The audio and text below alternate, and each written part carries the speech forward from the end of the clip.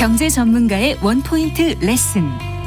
꼭 알아야 할 정보와 이슈를 알기 쉽게 풀어드립니다. 대한민국 경제 고수와 함께 투자의 맥을 짚는 KBS 일라디오 경제쇼. 진행의 성기영 아나운서입니다.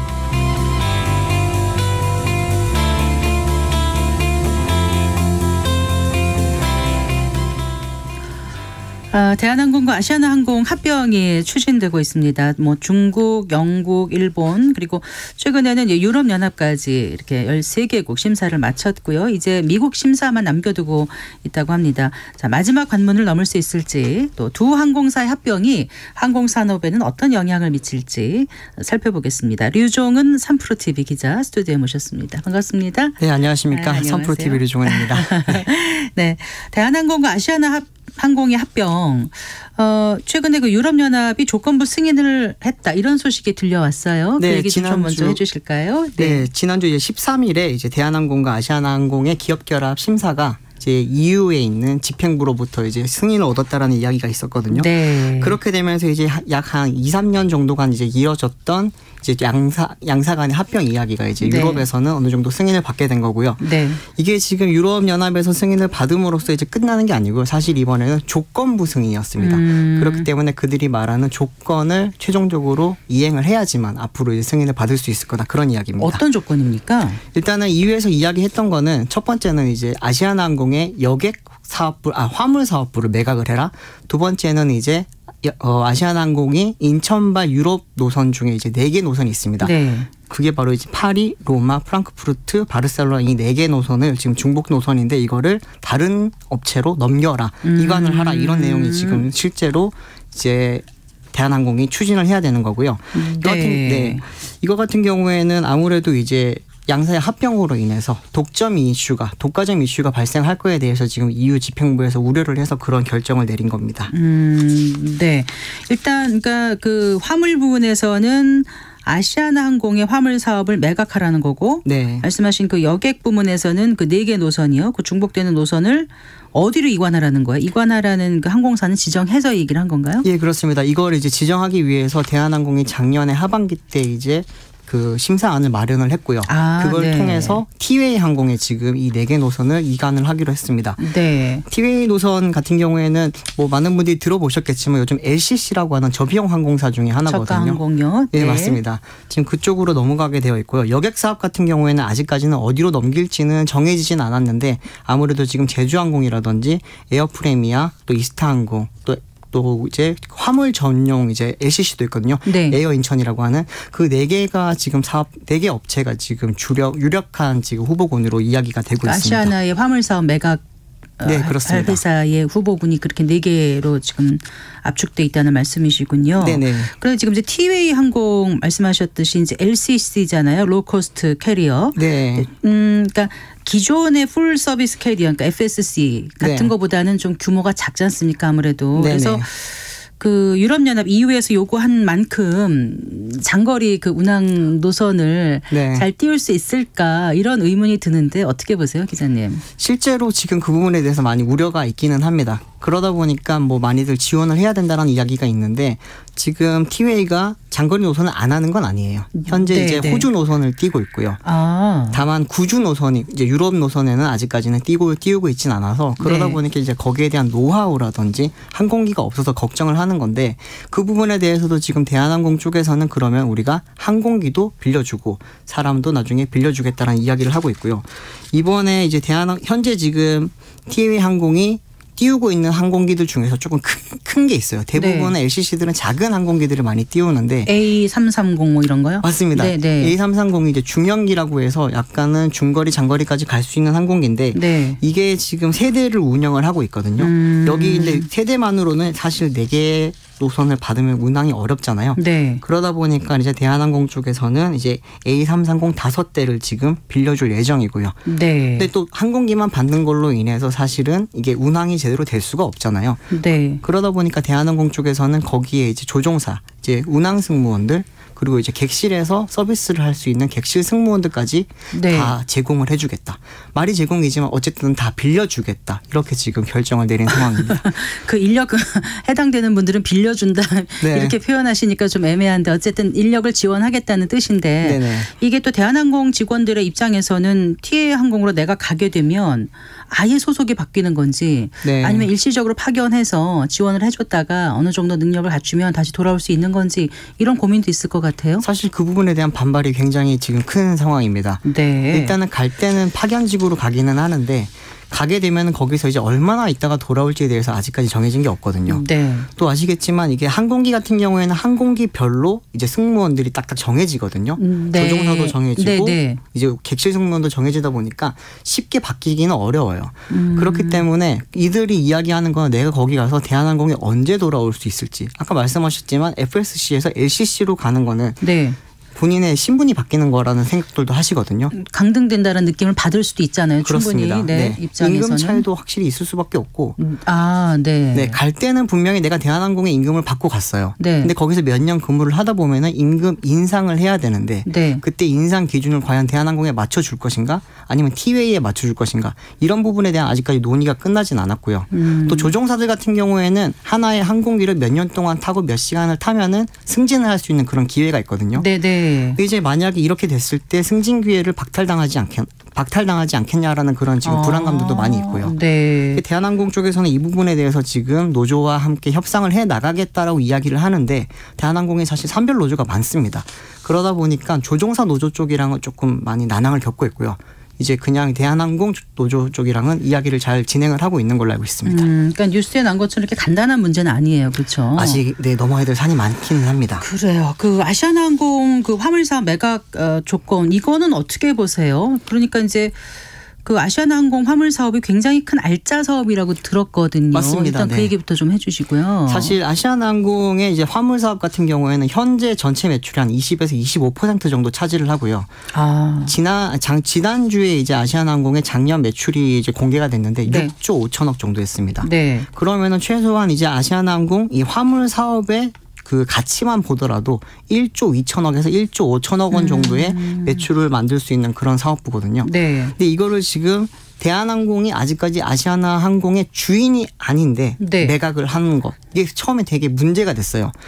근데 네. 이 부분에 대해서는 아시아나 항공이 작년 10월 11월 달에 이사회를 통해서 시, 통과를 시켰고 네. 그렇기 때문에 어쨌든 매각은 할 수 있게 되는데 가결이 됐군요. 그러니까 네. 일단은 네. 이사회 가결은 됐습니다. 네. 그런데 이 부분에 대해서 많이 걱정들을 하시는 게 과연 아시아나항공의 그런 화물 사업이 사라지게 되면은 아시아나항공 가치가 지금이랑 같을 수가 있겠느냐. 네. 그리고 잘 생각해 보시면 코로나 시절에는 여객이 많이 죽었다 보니까 네네. 네. 그때는 항공사들이 화물로 많이 돈을 벌었거든요. 그랬겠네요. 한창 때는 75%까지 전체 매출에 음, 차지했던 네, 사업보다 네. 보니까 네. 이거를 이번에 매각을 하게 되면은 나중에 또 어떤 어려움에 닥쳤을 때 아시아나항공이 타개할 수 있는 방안이 과연 있을까라는 그런 지금 우려 사항도 많이 있습니다. 아시아나항공 측에서도 화물 사업 매각안을 또 거부하기는 현실적으로 쉽지 않은 게 아까 그만큼의 이제 매출을 올렸다고 하지만 부채가 많고 부채. 비율도 굉장히 높다면서요. 그렇습니다. 네. 지금 아시아나항공 같은 경우에는 부채 비율이 한때 2,200%까지 올라갔다가 네. 최근에 많이 낮춰지면서 1,700 지금 아직까지는 잠정 집계지만 한 1,100 정도로 지금 집계가 되고 있거든요. 네. 사실 기업들이 1,100%의 이제 부채를 가진다는 게 굉장히 높은 건데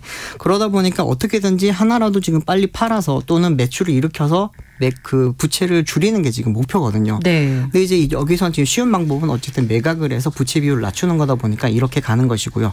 뭐 또 이거는 이씨 쪽에서도 EU 쪽에서도 굉장히 또 이제 원하는 바랑 또 부합하기 때문에 대한항공에서는 지금 추진을 하려고 합니다. 그럼 아시아나가 그 화물 사업 부분을 매각을 하면은 누구한테로 매각이 될까요? 그것도 아까 말씀하신 네 군데인가요? 네, 그렇습니다. 현재 네. 유력한 곳은 사실 두 군데로 지금 꼽히고 있는데 어디 어디요? 제주항공이랑 에어 인천 이야기가 많습니다. 아, 네. 제주항공 같은 경우는 현재 LCC 중에서 가장 큰 곳이고요.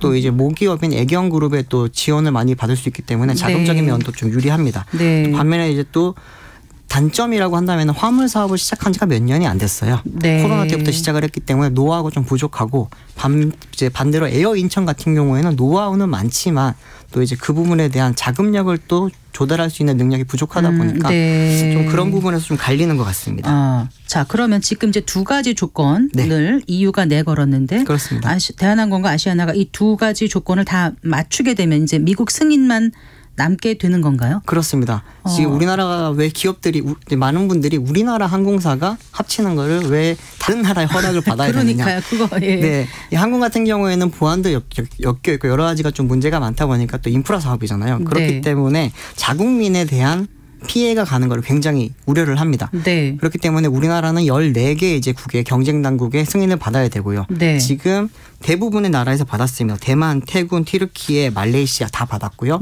네. 또 중국이랑 영국, 일본까지 최근에 받으면서 이제는 영, 미국과 유럽만 남았었는데 이제 유럽 같은 경우에도 어쨌든 사실상 넘어가게 됐으니까 미국을 받으면은 이제 뭐 별다른 문제 없이 합병을 할 수 있게 되는데 그 부분이 조금 많이들 좀 긍정적으로 보시는 분들이 많기는 합니다. 사실은. 뭘요? 한 국가만 남았으니까. 아, 미국만 남았으니까 이제 미국 하나만 넘기면 끝이다. 네. 그래서 좀 긍정적으로 보는데. 네, 언론에서도 지금 9분 응산 넘었다 이야기 되게 네. 많이 나왔었는데 네. 실제로는 글쎄요 이게 호락호락하지는 않을 것 같아요. 사실은.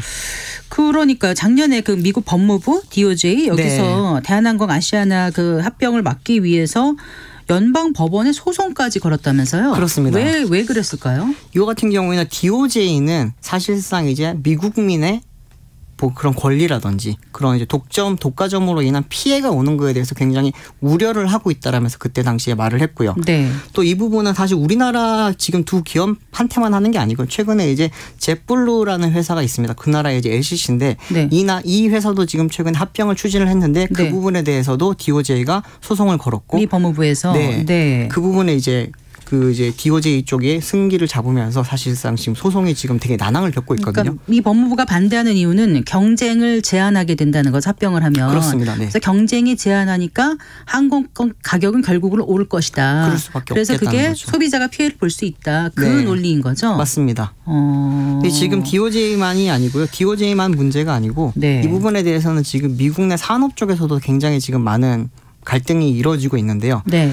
이 아시아나항공과 대한항공은 기존에 이제 미주 노선을 달리면서 운항을 하면서 아시아나는 유나이티드 항공 네. 그리고 이제 대한항공은 델타 항공과 같이 협업을 많이 해왔거든요. 네, 네. 근데 그러다 보니까 이제 이번에 대한항공과 아시아나항공이 합병이 되면서 아시아나가 네. 먹히는 모양새가 되게 되면은 기존의 아시아나와 협력을 했던 유나이티드 항공 같은 경우에는 이 항공 노선에 대해서 굉장히 경쟁력을 잃게 되고요. 아. 델타 항공이 이 부분에 대해서 경쟁력을 가져갈 수밖에 없는 상황이거든요. 아. 네. 그러다 보니까 지금 유나이티드 항공 쪽에서는 이제 기존에 속해 있던 Star Alliance라고 하는 네. 그 이제 항공 동맹체를 비행기 타면 맨날 나와요 스타 그렇죠. Alliance 네. 네 맞습니다 마일리지 같이 쓰게 하고 막 이런 거잖아요. 그렇죠. 네, 이제 네. 코드 share도 하고 마일리지도 뭐, 같이 쓰고 네. 그렇기 때문에 유나이티드 항공 같은 경우에는 여기를 잃게 되면은 네. 항공 노선에 대해서 경쟁력이 완전히 없어지는 아, 거 거든요. 그러다 보니까 Star Alliance를 통해서 지금 DOJ를 압박하고 있고요.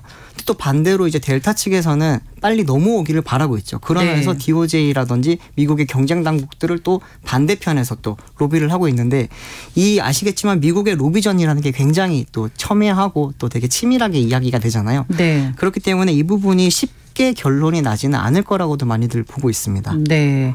그 슬롯 얘기가 나오는데 그건 무슨 얘기입니까? 슬롯 같은 경우에는 우리나라 이제 비행기들이 뜰 때 얻는 시간대 쉽게 네. 말하면 자리 싸움이라고 보시면 네네. 돼요. 네. 한 이제 그 공항에서 뜰 수 있는 자리가 정해져 있잖아요. 네. 시간대도 정해져 있고.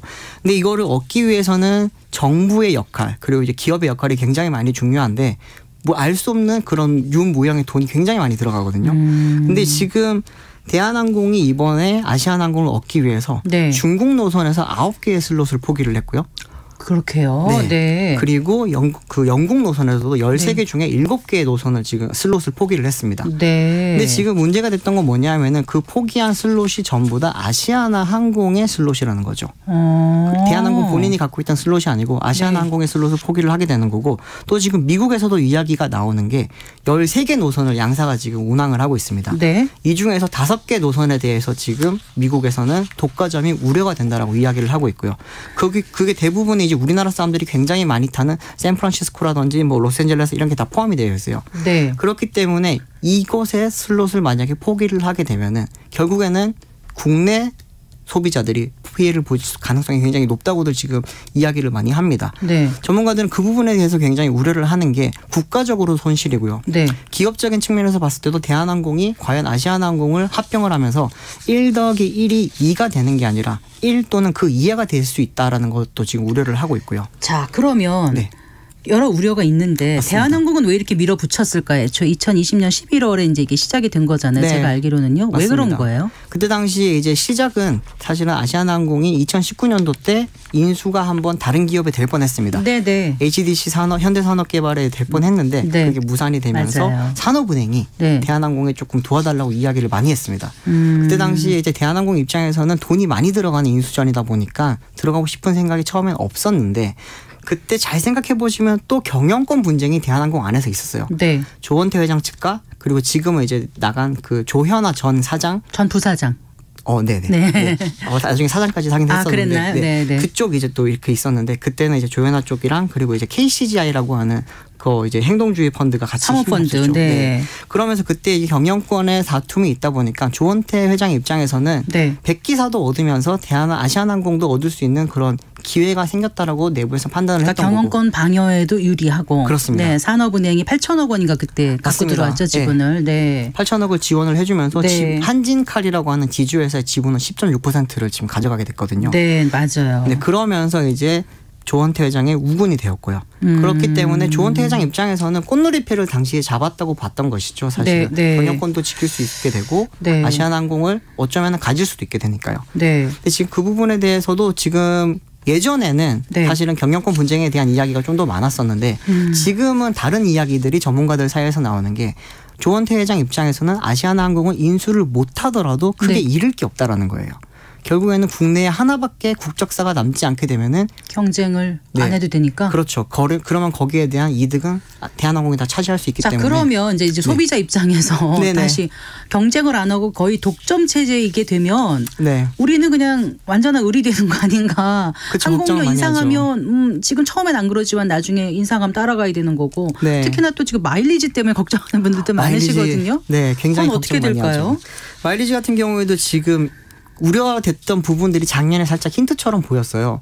지금 현재 양사의 마일리지를 부채로 지금 잡았을 때 약한 네. 4조 원 가량 되거든요. 그 정도 돼요. 네. 네. 그러다 보니까 이제 대한항공 입장에서는 빨리 털어야 되고요. 네. 그러면 빨리 털기 위해서는 아시아나 항공의 마일리지를 조금 낮춰서 합병하는 식으로 가는 걸로 지금 당시에는 준비를 했습니다. 네. 원래 생각을 했을 때 1대1로 합병을 해주지 않을까라고 기대를 했는데 네. 아시아나 항공의 마일리지는 대한항공이 합병이 되면서 한 0.8에서 0.6이 될 수도 있고요. 예. 그런 문제가 있다 보니까 지금 뭐 공정이라든지 소비자 단체들도 그 부분을 굉장히 지금 뭐 많이 지켜보고 있는 상황이고요. 음, 여쭤봤던 항공료는 어떻게 생각하세요? 항공료 부분에 대해서는 대한항공은 우리 마음대로 올릴 수가 없다라고 이야기를 하는데 네. 코로나 이후의 상황을 살펴보면은 그렇지는 아, 않을 것 같습니다. 네. 이게 여러 가지 이유를 들이대기 마련 그 나름이거든요.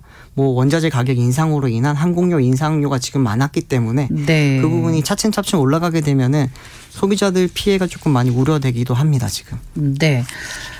그리고 또 경영권 승계 등의 복잡한 문제도 소비자 피해 우려되는 여러 가지 있고 슬롯을 포기한 여러 가지 문제가 있습니다만 그래도 긍정적인 요소가 있으니까 합병을 하지 않겠어요 기업의 입장에서는 맞습니다. 만약에 이게 정말 좋게 본다면 두 합, 두 기업이 합병을 해서 성공적으로 네. 합병을 하게 되면은 지금 뭐 언론에서는 세계 10위 정도의 mega carrier가 생긴다고 하는데 네. 그건 2019년도 기준이더라고요. 네. 취재를 좀 더 해보니까 현재 기준으로는 한 연, 한 15에서 한 17위 정도가 규모가 되는 걸로 나오고 있고요. 네. 또 하나는 이제 아시아나 항공 직원들 입장에서는 어쩌면은 직장을 잃을 수도 있는 상황이었거든요. 그때 2019년 당시에 이제 아시아나 항공이 부채가 너무 높고 돈이 네, 없어서 네, 망할 수가 있었잖아요. 네. 그래 그렇게 되면 거의 한 8천여 명의 지금 직장인들의 직업을 잃을 수가 있었고 또 하나는 이제 우리나라 항공 산업 자체의 경쟁률도 많이 네. 나빠질 수 있었는데 합병이 진짜로 긍정적으로만 잘 된다면은 그런 좋은 형상도 있을 수는 있는 거죠. 그렇죠. 뭐 스케줄 경쟁력 강화될 수도 있고 환승 수요가 뭐 확대될 수도 있고 네. 뭐뭐 여객 화물 수익도 증대될 수 있고 여러 가지 좋은 걸 다 생각을 하면은 네. 뭐 몇 천억 규모의 연간 시너지 효과가 있을 거다 이런 예측들도 나왔는데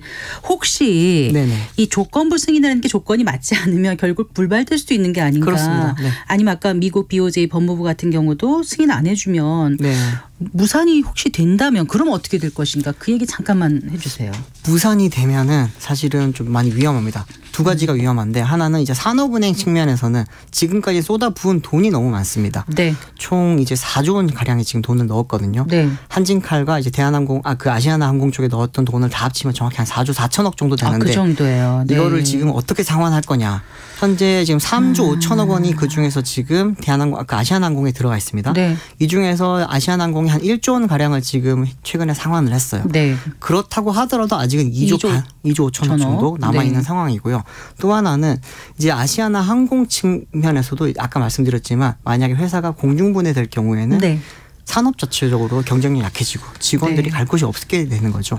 그러면은 좀 많은 큰 문제가 될 겁니다. 산업은행이 그 부분에 대해서 굉장히 좀 트라우마를 갖고 있어요. 네. 예전에 한진해운이라든지 쌍용차 사태를 겪으면서 그때 당시에 많은 일자리를 날려버렸다라는 그런 비판을 많이 받았기 때문에 이번에는 어떻게든지 좀 많이 made를 하려고 음. 하고 있습니다. 네, 그래요. 두 항공사 합병 여부가 대한민국 항공산업 전반에 미치는 영향이 클 텐데요. 네네. 마무리 좀 주시죠. 네. 만약에 지금 뭐 정말로 좋게 긍정적으로 봤을 때는 두 항공사가 이제 저, 어, 긍정적으로 합병이 됐을 경우에는 우리나라도 이제는 뭐 델타 항공이라든지 유나이티드 뭐 American Airline 이런 곳처럼 큰 항공사를 가질 수 있게 되기 때문에 선진국 반열에 올라간다는 그런 장점이 있을 수 있고요. 좀 안 좋게 본다면은 진짜 소비자들의 우려가 계속되고 있는 항공권 인상, 가격 인상, 또 이제 어떻게 보면은 이제 슬롯이 많이 부족해지다 보면은 많이 불편해질 수가 있어요. 네. 돈뿐만이 아니라 밤 비행기를 타야 된다든지 음. 그런 불편함이 많이 있을 수 있기 때문에 그런 부분 좀 우려가 그럼 이외 조건부 승인 이런 거 맞춰주는 거 언제까지 해야 돼 이행해야 되는지 이런 시간적인 이행 시기는 정해지진 않았고요. 네. 지금 대한항공 쪽에서 이야기하는 바로는 올 하반기 안으로 그 조건부를 모두 이제 쓸 완료를 하겠다라고 하는 지금 테이블 정도만 미국 건 언제쯤 승인이 될까요? 그건 아직 정해진 게 없습니다. 아 그럼 앞으로 뭐 몇 년더 네. 걸릴 수도 있는 거네요. 어, 어쩌면 그럴 수도 있습니다. 네. 그리고 그게 끝난다고 해서 바로 합병이 아니고요. 2년 동안은 분리 경영을 하다가 2년 뒤에 합병을 하게 아, 됩니다. 아, 그렇군요. 네. 네. 오늘 자세한 말씀 잘 들었습니다. 고맙습니다. 네, 감사합니다. 네, 류종은 3프로 TV 기자와 함께했습니다.